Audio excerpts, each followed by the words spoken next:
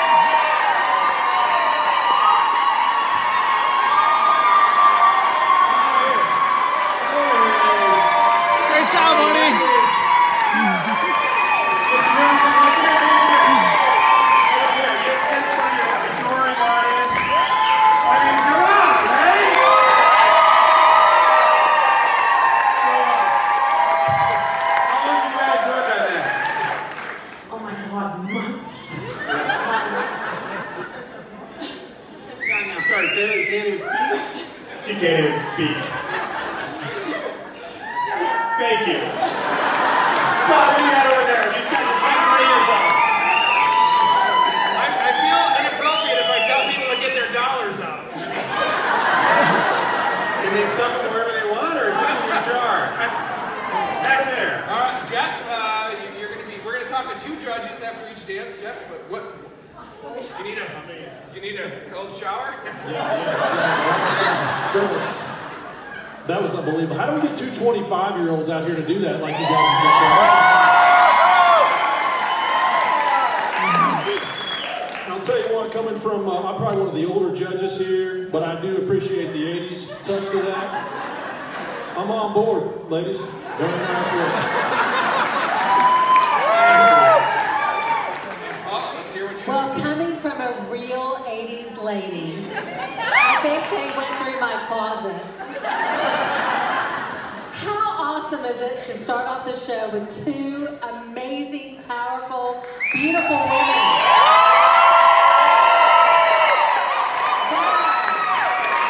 And you know, last year, Penny and Jeff danced together, and I'm trying to wrap my head around Jeff in a thong leotard. I think you would have won had you worn that, Jeff. You guys were awesome. It was such a pleasure to watch you. Thank you for giving yourselves tonight to benefit House of Youth. Hear it. There's a mom out of the back there. Pen, pen, We got ten, ten.